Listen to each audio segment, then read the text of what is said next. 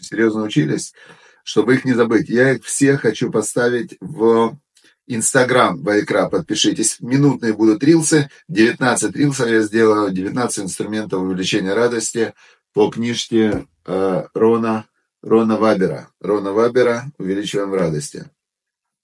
Вот, можно будет 19 инструментов к себе их где-то записать и смотреть видео, когда надо увеличить радость, будем увеличивать. То есть мышление человека это как калейдоскоп такой.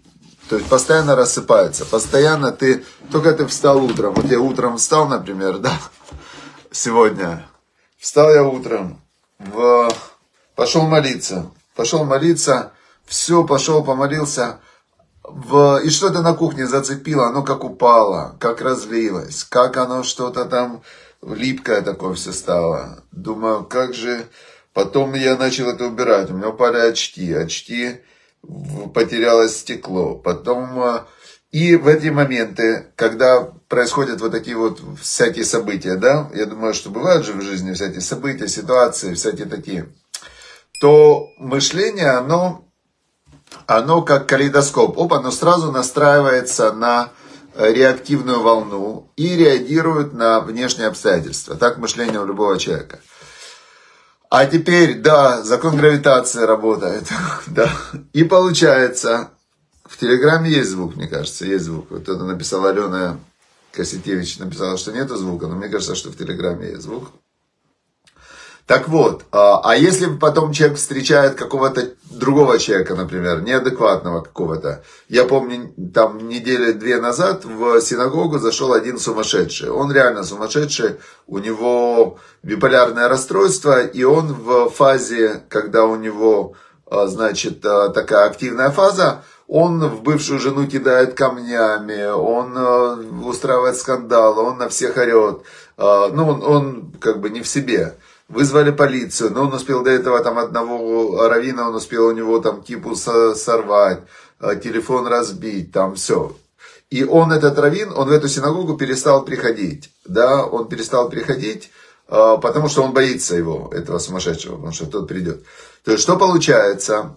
Получается, что э, мышление, оно постоянно настраивается. С кем поведешься, от того и наберешься. А, значит, а, понятно, да, как работает? Теперь, но человек, который решил, принял решение, что я хочу увеличивать радость, я хочу быть счастливым, я хочу быть спокойным, я хочу идти к Всевышнему, он должен постоянно из вот этого своего э, калейдоскопа заноса, да, его заносит куда-то, там люди заносят, все. А потом же как, его занесло, а мышление уже у тебя пере, перескочило уже на эту волну, да, отреагировала на то, что произошло. И, и может оно зациклиться. У человека есть старые, старые пластиночки да, в мышлении, и он оп, зациклился. Зациклился и пошло-поехало, и он уже прямо провалился в какую-то опять эмоциональную яму. Теперь, чтобы этого не было, нужно уметь вылазить, то есть нужно иметь э, фонотеку, новую фонотеку, новую как бы э, способ инструментом, да? Ага, да, значит, э, нужно иметь набор инструментов. И этими инструментами вы, вырулить себя из вот этой вот эмоциональной ямы. И поэтому я сейчас, вот мы выучили, мне кажется, это 19 практичных, классных инструментов. Я сейчас делаю 19 рилсов. Вы можете зайти на канал наш, вот у нас идут трансляции в Телеграме, в Фейсбуке и в Ютубе. А вы можете подписаться еще на канал инстаграм-канал Вайкра. Подпишитесь, пожалуйста. И там вы сможете эти все 19 рилсов по одной минуте где-то себе сохранить на них ссылочку. И, значит, вам, когда, в, если вас куда-то занесет, вы один, второй, третий, четвертый, пятый, шестой, седьмой, там, 19, и вы по-любому будете радоваться. Если у вас есть решение радоваться, вы радоваться будете. Если у вас нет решения радоваться, а есть э, какое-то отсутствие решения, например, да, есть люди, которые живут в режиме реактивном. То есть они говорят, я буду жить в реактивном режиме, значит, э, если меня любовь нечаянно нагрянет, значит, э, буду любить. Э, любовь зла, полюбишь и козла, значит, полюблю козла. Значит, если, какие еще у них есть выражения, с волками жить, по волчьи выть. Значит, вот если там я волка встречу, буду на него выть. А если я встречу, например, зайчика, буду прыгать. То есть есть люди, живут реактивно. Есть люди, которые говорят, не-не-не, я буду жить проактивно, это называется, у 7 навыков высокоэффективных людей, у Стивена Кови. Он говорит, нет, у меня есть мое решение. Я выбираю быть счастливым, радостным, служить Всевышнему. Это мой выбор, да. Теперь, если меня куда-то уносит, с волками жить, я не буду по волчьи выть. Я же человек, а не волк. Пускай они воют, а я буду значит, э, написано Архек Мишахенра, отдались от плохого соседа, говорит нам Тора. Э, Архек Мишахенра, вальтит хаберли раша, и не соединяйся со злодеем, даже в хорошем деле. Вальти яеш минапуранут, и не придется тебе раскаиваться от расплаты. Нам, нас предупредили, да, в Торе нас предупредили, что живешь с плохим соседом рядом и с, с плохим, этим самым, со злодеем, придется, раз, потом обязательно расплата придет.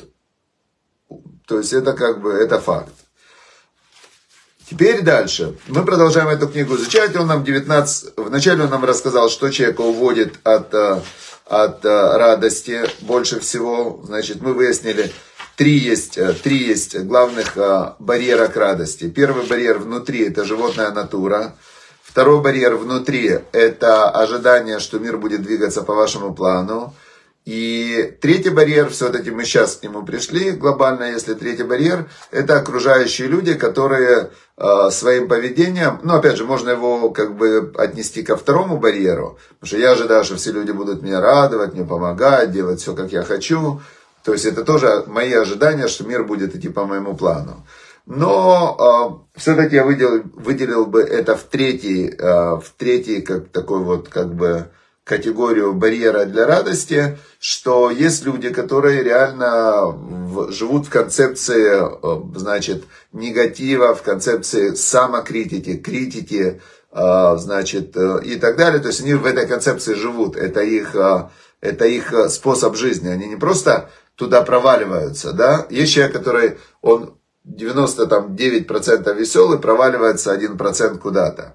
Есть человек 50 на 50. А есть люди 99% в негативе и хотят другим делать негатива, и они еще уверены, что они правы, и они вот это вот прямо, они из дома выходят, и прямо, ну, есть сумасшедшие, я вот сейчас тоже вспоминаю один в Нью-Йорке, когда мы жили сейчас, там был один, который прямо вот он с утра выходил на улицу, он везде заходил, на всех орал, там все, то есть он, ну, он сумасшедший, он живет в каком-то своем мире. У него просто это ярко проявлено. И он на всех орет, там все. А есть люди, которые скрывают свое сумасшествие, и они внутренне орут. Хорошо, это было у нас вступление. Потом у нас было 19 инструментов, когда ты хочешь увеличить радость, как, как ее увеличивать. И сейчас мы пришли к э, следующей части книги. Называется она «Встретить все». Видите, он интересно как Синеньким было в начале, это он описывал барьеры. Потом оранжевеньким он описывал инструменты радости. А сейчас зелененьким он пишет, э, как бы часть э, третья называется «Встретить все». И тут он пишет, что мои эмоции, он пишет, убегать от них или обняться с ними. Так он начинает первая глава сегодняшняя.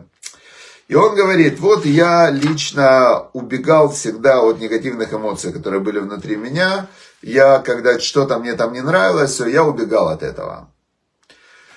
Я понимаю его позицию, то есть, в принципе, как, если ты хочешь, я тоже всегда стараюсь перейти на передний привод, объяснить себе как-то все по-хорошему и э, убегать от негативных эмоций.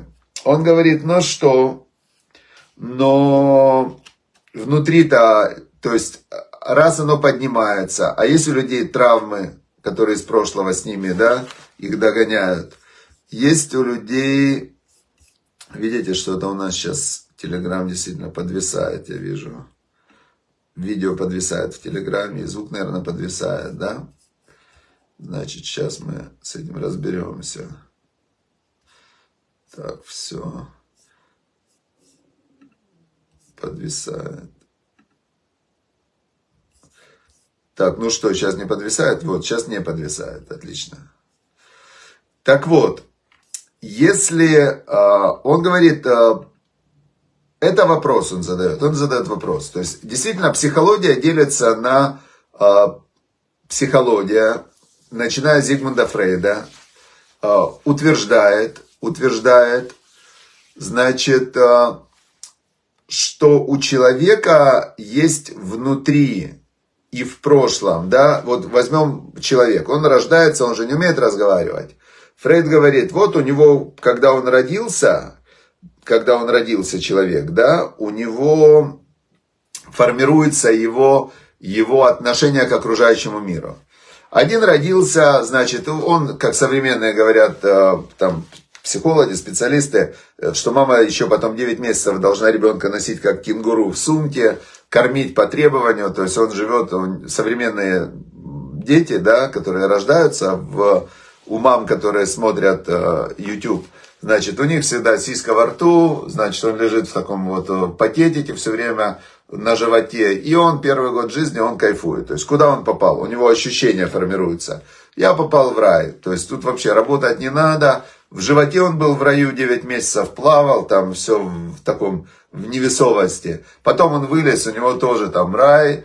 Это современное ощущение первого года жизни. Теперь, как раньше было, в лет там 50 назад еще, когда я родился, 50 лет назад. Значит, даже памперсов не было еще, да, были пеленки, поэтому, значит, и, и ребенка туго заматывали в пеленку, пеленали. Помните, было такое, как с бревнышком ходил еще Миронов в фильме? Значит, ребенка вот так вот его пеленали туго, значит, объясняли так, чтобы он не испугался. Вообще просто совсем не страшно ему. Он, за, он замотанный, как мумия, вот так вот лежит в пеленке. Это же не памперс, его не меняют. И говорили, ребенка кормить надо по времени. То есть, неважно, что у него нет часов, мы-то знаем, когда его надо кормить лучше, чем он. Поэтому пусть он орет, сколько ему вре... думается, что мир это не рай. Куда попал, пусть сразу знает. И Фрейд как раз, а в то время, когда Фрейд жил, сто лет назад, там, да, больше, Тогда еще жестче было. Тогда просто было 50% детская смертность. Думали, да все равно умрет. Мол, чего его вообще кормить. И, а, значит, он свою всю теорию, всю свою теорию, он развил на том, что в это время у ребенка формируется его взаимоотношения с миром и с собой, еще без слов. И дальше его всю жизнь, вот эти вот его детские, а, сформиров, сформировавшиеся у него, можно сказать, инстинкты, они дальше драйвят его всю жизнь. Если потом у него что-то ему в жизни не нравится, то ложись на кушетку, вспоминай. И вот он, значит, вспоминает, и психоаналитик ему объясняет, что он вспоминает. Это была э, как бы основа теории Фрейда, что человеком управляет его прошлое, его животная часть, его инстинкты. И э, психология, она пыталась вот в этом вот клубке, который непонятно где внутри и непонятно когда запутался, пыталась она всего его распутать. Это была психология, да. А, значит, э, ну, как она возникла, как наука, там 100-120 лет назад возникла всего психология, как наука. Значит, Тора, она нам говорит по-другому. Она нам говорит, что да, действительно, внутри у человека есть то, что называется животное начало, да, инстинктивное начало, нефеш беемит, она называется на иврите, животная душа. Так ее назвали, она есть и у людей, и у животных, да. А, дальше есть э, у человека его дух, его намерение, его свобода выбора. Это делает человека человеком, у него есть выбор всегда. И дальше у человека есть э, интеллект, который, э, который он с помощью образования загружает туда какие-то исходные данные для выбора. Да? Человек может выбирать только в рамках Э, тех концепций знаний, которые он знает. Есть душа, божественная душа, которая все время изнутри сигналит свет, добро, любовь. Ну, то есть Всевышний, он, он говорит, выбери меня. Выбери меня, если ты меня выбираешь, это есть как раз, значит, победа в жизненном пути. Ты выбрал свет, вечность, любовь, добро, и ты попадаешь в вечный мир, который свет, радость, любовь, добро. Все, это как бы смысл всего. Теперь, но у человека, и дальше человек должен выбирать, но у каждого разный жизненный путь. Например, у многих, очень многих э, великих даже праведников, таких как э, Машер Абейну, Моисей, например, да, или царь Давид, или царь, царь Соломон, мудрейший из людей. У них было очень тяжелое детство, страшно тяжелое детство, в котором, в котором они проходили через какую-то очень несправедливость, опасности для жизни, там было, ну, очень, очень было страшная, да, такая у них судьба, отсутствие родителей, все. И царь Давид, который в псалмах, он говорил, «Ки авива и ми азавуни», он говорил, «Папа и мама меня оставили». И Бог меня, я Сфени, Бог меня усыновил, да, они благодаря тому, что они в раннем возрасте, царь Давид остался, что его бросили и папа, и мама, и он был пастухом, и он на кого положиться?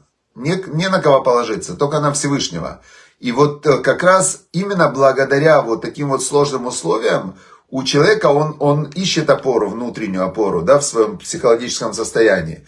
И в этот момент, когда он, ему не на кого опереться, да, у него нету, казалось бы, мир поплыл, разрушился, в этот момент он может соединиться со Всевышним, со своей душой и так далее. Но о чем пишет автор этой книги? Он говорит, внутри у человека могут происходить разные, э, то, что мы называем негативные эмоции. Негативные эмоции – это эмоции негативного спектра, э, страх, обида, э, гнев, раздражение, что еще, какие есть, ну вот беспомощность, да, очень ужасная такая эмоция, ощущение беспомощности. Теперь с одной стороны, мы учим, что нужно всегда стремиться выйти из этого состояния ко Всевышнему. Ну а что делать-то с тем, что внутри? То есть негативная эмоция, она тебе сигналит «убегай», убегай от меня, да? То есть зачем нужна негативная эмоция страха? Потому что человек идет, вот ему непонятно почему, вот ему кажется, что за тем деревом э, там э, лев или тигр или там бандит какой-нибудь. И ему этот страх, он ему говорит, убегай, он убегает. То есть, пускай в 100 случаях там нет бандита, в одном случае страх спас ему жизнь. Негативные эмоции, они человеку сигналят, например, там э, раздражение или скука или что, что ты неправильно живешь. То есть тебе негативная эмоция сигналит, то, то как ты живешь, убегай оттуда, не живи так. Но человек, который ему плохо, он не понимает, что он должен поменяться. Он в этом плохо зависает, зависает, зависает, Пока с негативной эмоцией ему не говорит, «Ну, ты должен измениться. То есть ты должен убежать из того состояния, человеку не свойственно жить. Он не должен жить в страдании, не должен жить в негативе. Он должен жить в радости. Значит, если ты э, живешь в спектр негативных эмоций, сигналит убегай. Теперь, но если человек убегает, э, но он убегает, э, например, он берет стакан алкоголя, выпивает, как у одного было все в жизни ужасно. Настолько ужасно, что у него полностью все было, ну, хуже не придумаешь. Он где-то он убегал от милиции, убегал от бандитов, э, где-то он вообще, ну, и вот он где-то утром просыпается после какой-то пьянки, и он, значит, понимает, что все, он уже больше так жить не может. И он решил повеситься. И он, значит, решил повеситься, это убегание. То есть э, самоубийство это как бы это попытка убежать, но только вообще скрыться полностью, да, исчезнуть из этой жизни. И получается, что он э, хотел уже повеситься, но тут он думает, а, перед, выпью перед смертью, увидел там недопитый стакан водки. Берет он, значит, этот стакан водки выпивает, видит бычок недокуренный такой, взял бычок этот, э, закурил его, такой стоит, смотрит в окно, говорит, а что, жизнь-то налаживается? То есть есть человек, а, он убегает, но он не кардинально не исправляет. Кардинально он ничего не исправляет, а он просто замазывает. И вот тут вот он говорит, смотрите, если мне плохо, значит там что-то есть. Эта эмоция, она мне что-то говорит. Она мне говорит что-то, но если я от нее сейчас убегу, от вот этого негативной эмоции, я ее не услышу.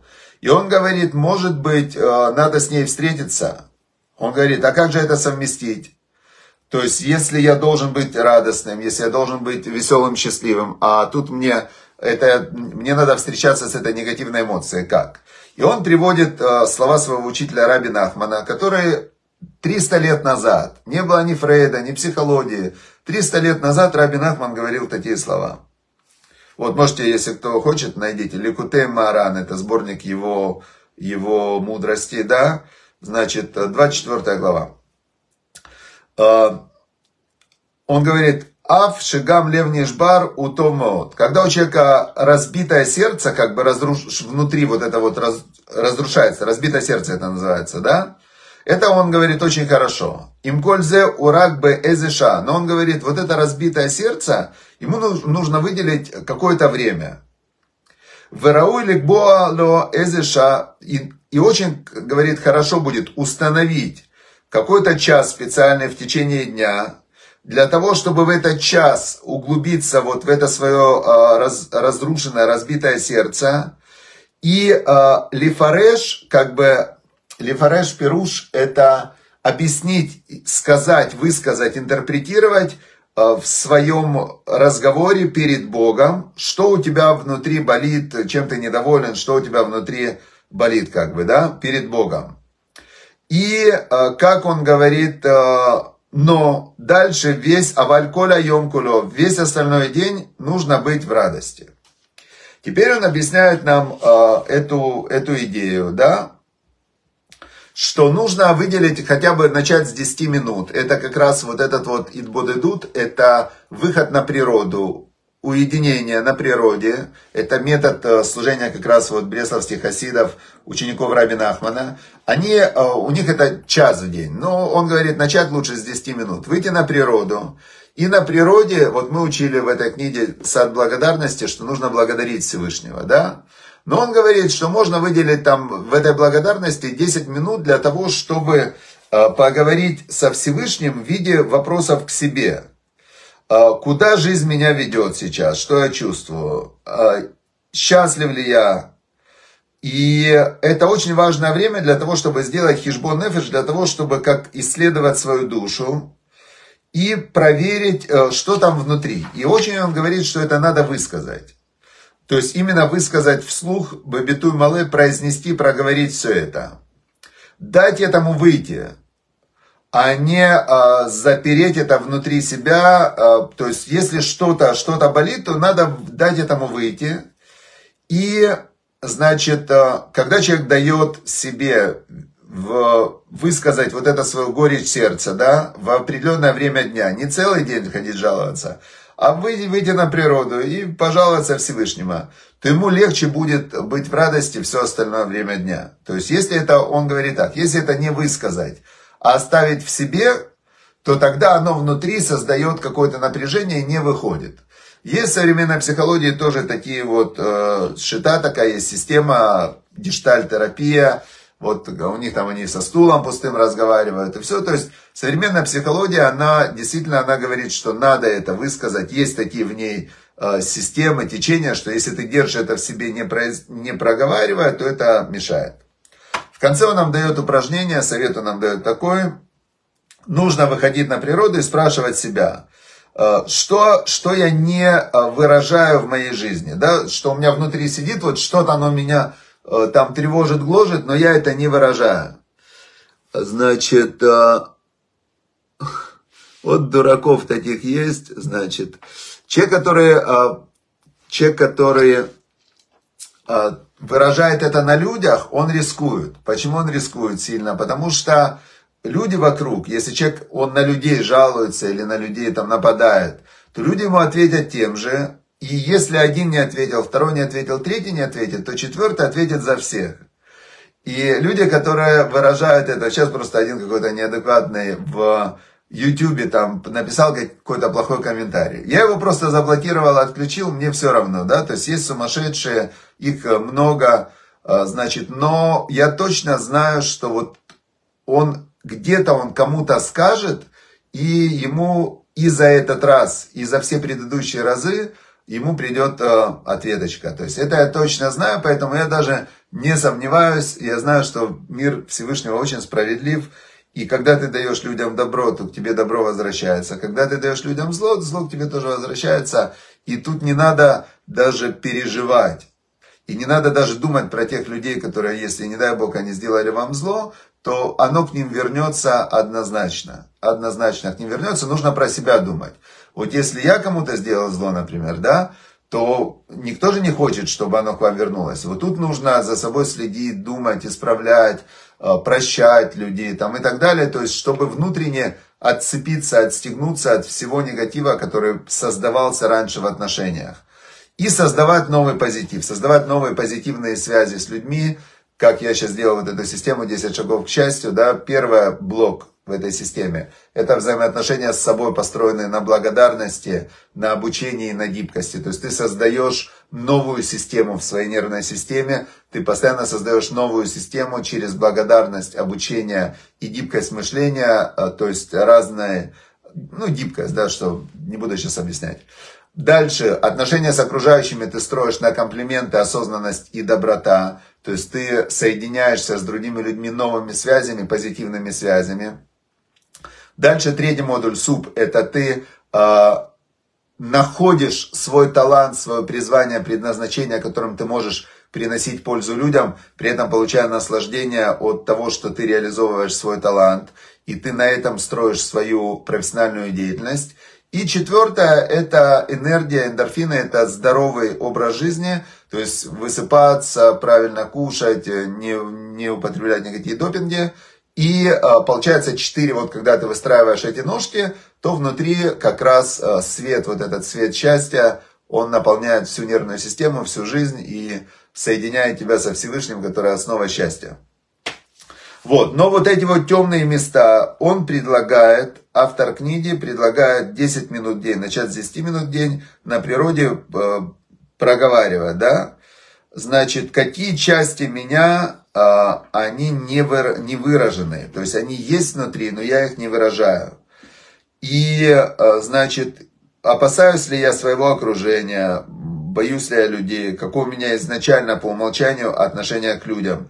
Ведь по факту-то мы не знаем, как люди ко мне относятся, но есть люди, которые уверены, что плохо, и они живут в этой уверенности, и они строят свою жизнь и отношения, исходя уже из исходной предпосылки, что плохо. Есть люди, наоборот, которые думают, что хорошо. То есть это все внутреннее отношение человека. Он предлагает в этом разобраться. Да? Дальше. Майк Рейм. Э, что будет, если я дам я себе тихое время встретить э, то, что внутри меня творится, да, про, поисследовать, сделать хижбон Так он дает совет – значит, э, говорит, что увеличивает эту радость. Ну, может быть, может быть. Значит, каждый, смотрите, жизнь это тестирование. То есть, или ты э, строишь и тестируешь сам, или ты все время находишься в режиме реагирования. Поэтому очень важно для человека, как э, есть такое очень мудрое выражение, кто хочет, ищет возможности. И когда ты принимаешь решение быть счастливым, то ты ищешь возможности, как это решение реализовать. Да? Хорошо, 30, сегодня у нас один короткий совет перед шаббатом, значит, из книги «Улыбайся, улыбайся». Говорит он нам так. Удовольствия приходят и уходят, но заповедь – это то, что остается навсегда. Но человек стремится, мы знаем, есть удовольствие, это чувственное удовольствие там, от еды, от питья, то, что ты э, получаешь наслаждение, приятная эмоция от э, восприятия чего-то. Это называется удовольствие. Радость это более духовный уровень удовольствия, когда ты реагируешь на что-то, что тебя радует, э, своим эмоциональным состоянием эмоция радости. Да? Бывает удовольствие и радость. Бывает радость без удовольствия. Да? Человек увидел фотографию свою детскую, он испытывает радость. Да? То есть теперь он говорит так, что удовольствия приходят и уходят, но заповедь это что-то, что остается навсегда. И он говорит, нужно постараться научиться отличать временное и приходящее от постоянного и бесконечного. Значит, э, гораздо лучше научиться искать в жизни постоянные сокровища, те ценности, которым нет конца. Когда мы выполняем волю Творца, мы присоединяемся к вечности, приобретаем жизнь, полную беспрерывных удовольствий и радости. Он говорит, если через заповеди Тору и через заповеди Тору присоединиться к, ко Всевышнему, к духовной радости, то это радость бесконечная, к которой ты присоединяешься уже и навсегда. То есть заповедь, которую ты выполнил, она к твоей душе прикрепляется и остается с ней навсегда. Это как ты майнишь, э, есть такое выражение, кто понимает, биткоины, да, то есть биткоины ты создаешь некую криптовалюту, которая будет с тобой навечно, потому что она прикрепляется к твоей душе. Поэтому шаббат шалом, шаббат это 24 часа присоединения, ты попадаешь во время, которое предназначено для духовности. Если ты заходишь в шаббат, и ты в это время говоришь, о, я в шаббате, то есть ты отключаешь всю производительную деятельность, и ты наслаждаешься вот этим вот днем отдыха, днем остановки производительной деятельности, то, то что? То 24 часа можно присоединиться к шаббат. Вот вопрос интересный, да? Кто-то спрашивает, а, где справедливость? Если у царей были гаремы, где тут справедливость? Я не понимаю, это мужчина спрашивает или женщина?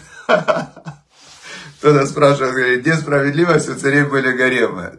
Вы с чьей точки зрения спрашиваете, с женской или с мужской?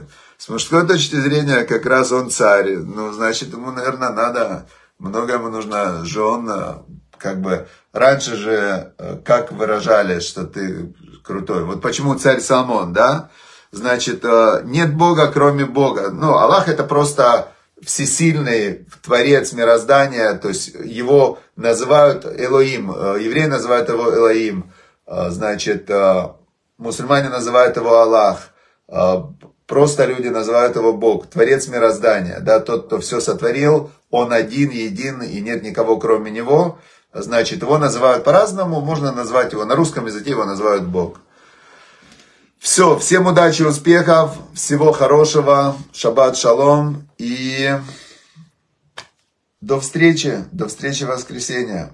В воскресенье, кстати, есть отдельный урок еще в 11 часов, есть урок для партнеров Вайкра и для спонсоров Вайкра, те, кто являются партнерами в распространении Торы. Есть отдельный урок для них с 11 до 12. Мы обсуждаем э, вопросы, там какие-то разные интересные. Поэтому, если вы хотите стать партнерами 50 тысяч часов уроков Торы в месяц, и каждый доллар превращается в 4 часа уроков Торы. Есть у нас полностью такой дашборд, где видно, как, э, сколько денег люди жертвуют и куда эти деньги идут. Если вы хотите стать одним из тех, кто несет и распространяет божественный свет, то welcome. Welcome, значит, увидимся тогда в воскресенье на дополнительном уроке для партнеров.